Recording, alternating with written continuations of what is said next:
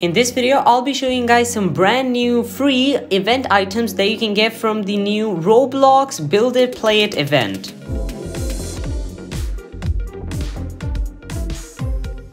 Yo, what's up? Welcome back to Planet Som. So, RBX News tweeted that the Roblox BIPI Mansion of Wonder event has begun, and here are some of the codes that you can use to get some free event items. So, let's go ahead and join the game, and let me show you guys all of these codes one by one. Okay, so here is the game on Roblox. This event actually just opened. As you can see, it only has 36 like uh, likes and 5 dislikes. So, I'll go ahead and leave a link to this if you want to go ahead and get the virtual items in the description. Let's go ahead and join the game. Okay, so we are here inside the game. Let's see where I have to enter the code. So I guess it is going to be over here. Let's go ahead and see. So do I just come over here? E to learn more. Yeah, so uh, what I want to do is I want to click on redeem, but why can't I do that? I literally can't because uh, I'm apparently in first person or something. Wait, so how do I get out of first person? Because uh, I can't move my cursor, so I won't be able to click on redeem. Okay, so maybe I actually have to join it on my phone because I think that might be like the only way it works. So no, I don't want to join this game.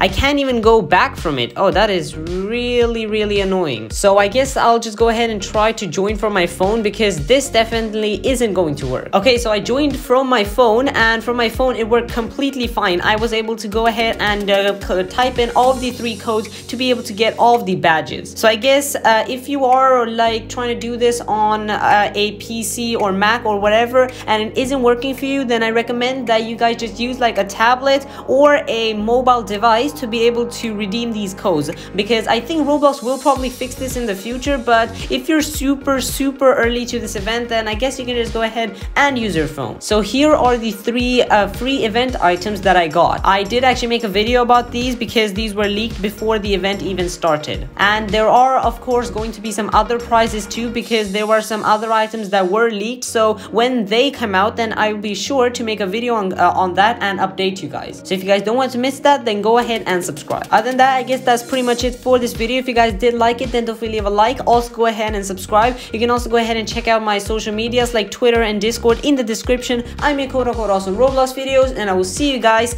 in the next one. Bye!